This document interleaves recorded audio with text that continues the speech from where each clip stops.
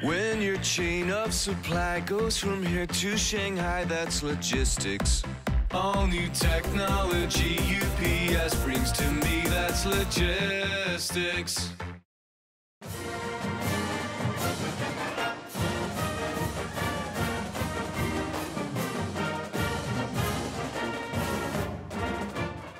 and you look at that game and you sit there and say, well, what are the answers? I don't know if there is an answer for us to beat Northern Illinois right now. They don't turn the ball over.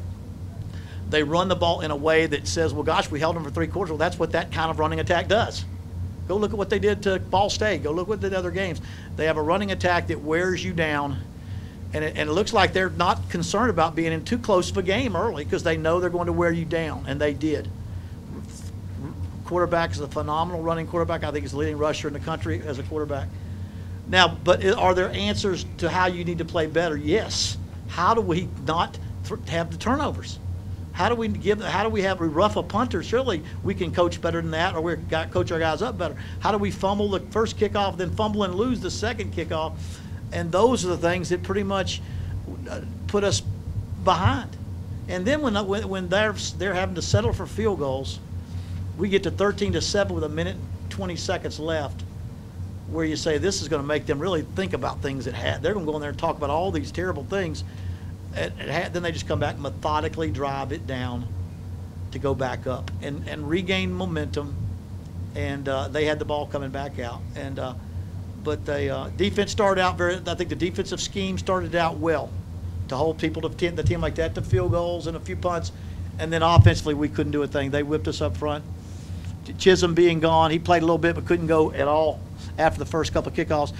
Adam Bice, our best lineman, uh, sprained his ankle, tried to go back in, but he was out, and uh, we had nowhere to go after that. And that uh, number 90 just took. Uh, he, he, is it number nine? That defensive end just, I mean, he was, he could get back there. But anyway, we, um, what we what we would have had to do just to keep this close is to we've got we've got to we've got to get them, we've got to figure out how not to turn the ball over a bunch of times like we did. And uh, I think we had three fumbles and might have had an, inter- an interception on top of that, four, four turnovers.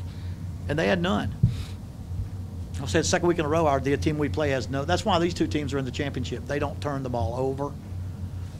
They uh, uh, play smart football. They play they play winning football. Every every good defense, we struggle a little bit more. But when we play a good team, we're not as good. There's a there's a trick. I mean, that's not a trick. It's just the reality is when we are equal to somebody or maybe a little better, we, the offense can go. When they are better than us, their defense is better than our offense, it shows drastically. And unfortunately, bowling, the two that come to mind are Bowling Green and uh, North Illinois, and they're the two best defenses, I believe, in the conference. And um, what disappoints me is that, that we we we um, and I, I have to look at film.